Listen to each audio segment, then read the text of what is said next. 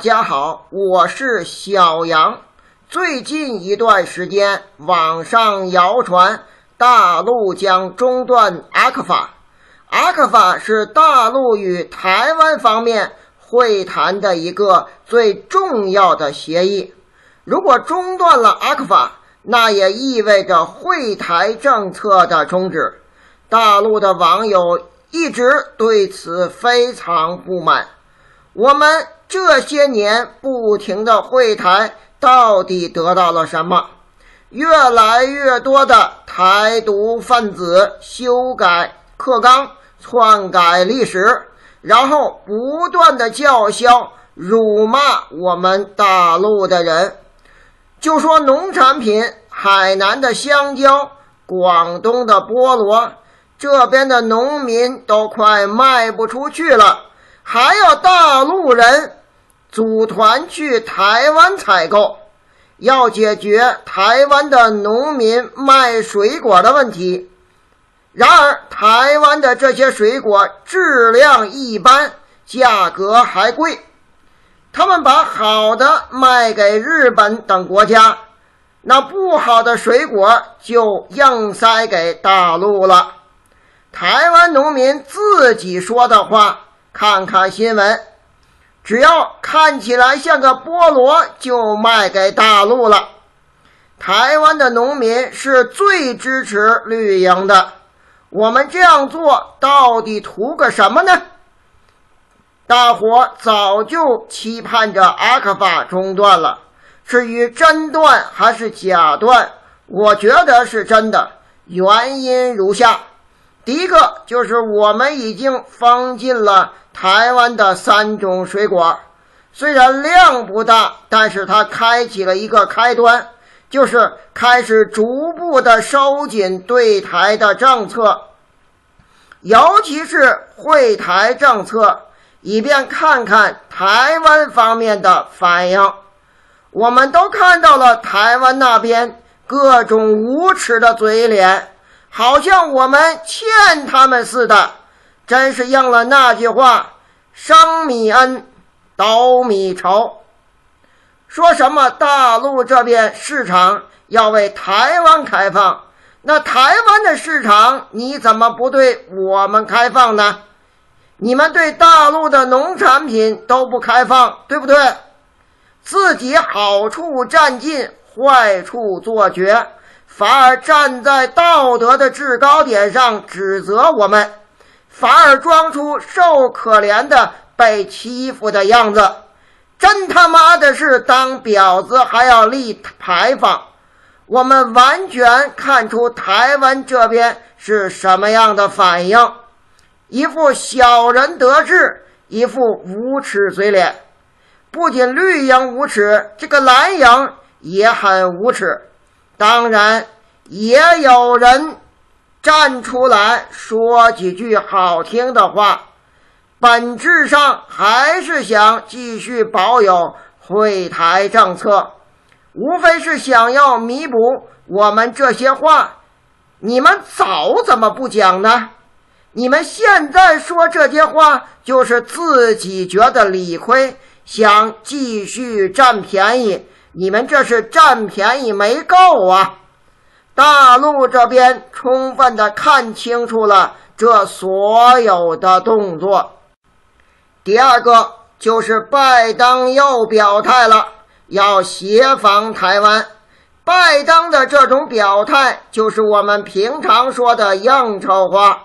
你看，把台湾这边兴奋的鼻涕泡都快出来了。台湾买了不少武器。美国要协同台湾，美国帮助他们打仗，解放军不敢登陆的。台独这么叫嚣的话，很容易激怒解放军呀。到时候你们又不敢开火，不就等死吗？绿营说这是大部分的台湾民意。充其量不就是两千三百万台湾人而已吗？还不都支持他们这种胡作非为？那么我们这边还有十四亿中国人的民意呢，至少十三多亿都是希望尽快两岸统一。所以最近我们把那些台独列上清单了。正所谓，别看你今天叫的欢，小心日后拉清单。台湾通过阿克法每年赚大陆一千多亿美元。台湾每年的国际贸易逆差五百多亿美元，每年这五百多亿来自中国大陆的顺差，就是台湾的经济的外汇存底。说白了，就是靠大陆这边养活了你们。从贸易结构上讲，就是这么回事儿。那么第三个。就是蔡英文前一段时间的讲话，什么四个坚持，中华人民共和国、中华民国互不隶属，这是在不停的触犯了底线，在不停的挑衅大陆武统的决心，在国际组织上不停的煽动这些东西。企图把台湾问题国际化，其实这个东西很消耗大陆的外交资源，因为我们经常拉着很多的国家来表态一个中国原则，表态台湾是中国的一部分。这种表态，不少老外嘴皮子动一下，那么简单吗？是要给实实在在利益的。当年太阳花把服贸货贸给反了，其实，在签服贸之前，韩国就非常的反对，认为不应该给台湾多余的优惠，它违反了我们之前和韩国商量的自贸区。但是今年元旦。RCEP 签订了，生效了。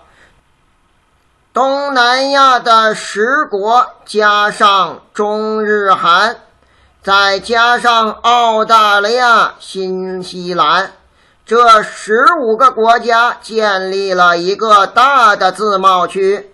这个自贸区里面有各种税费的优惠。这个时候形成了环。台湾经济自贸区，台湾可不在这个自贸区内。大陆这个时候如果还给台湾优惠，那么显然不符合阿塞拜贸易的原则，所以阿克法中断也就有了它的必然性。现在断了，也只是刚好而已，得让。这帮绿蛙们品尝一下社会主义铁拳的厉害了。